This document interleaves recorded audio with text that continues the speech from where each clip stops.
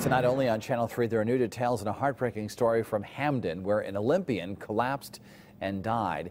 She was more than eight months pregnant at the time, but emergency crews were able to save her baby.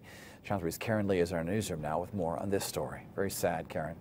It really is, Dennis. I mean, we just learned about her, and we know that Meskerem Legesse competed in two Olympics, Athens and London. But friends tell us she recently had to give it up because she had heart problems.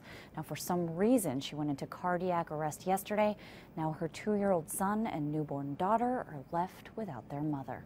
Everybody that meet her, you know, fall in love with her. She was tough, but she was sweet at the same time. The tough scene when 26-year-old Meskerem Legesse would compete in Olympic races for Ethiopia and marathons here in the States. The sweet scene when she was with her two-year-old son.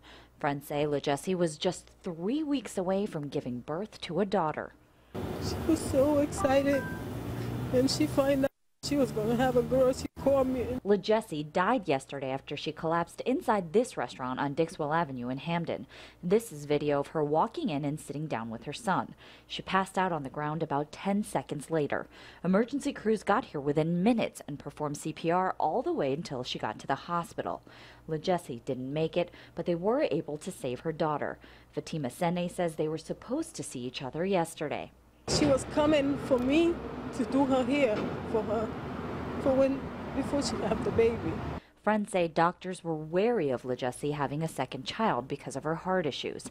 They say she was so careful during the pregnancy, only drinking water and watching what she ate. She took her chance with her life to have these kids. We're told arrangements have already been made to bury Legesse in her home country of Ethiopia. Reporting on your side, Karen Lee, Channel 3 Eyewitness News.